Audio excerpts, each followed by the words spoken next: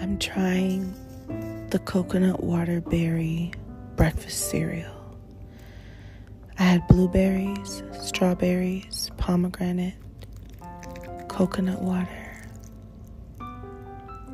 I like ice with my cereal.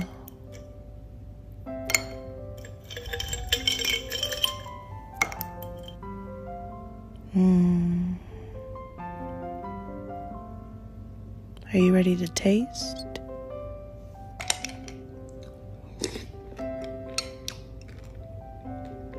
Oh, It's good. oh.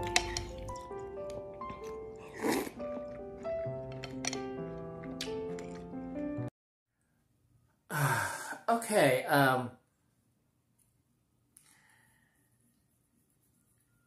my thought on this is mind you, this is a few years late, so why not admit that it's just a bowl of fruit and there's no flavor whatsoever, but it's healthy, okay?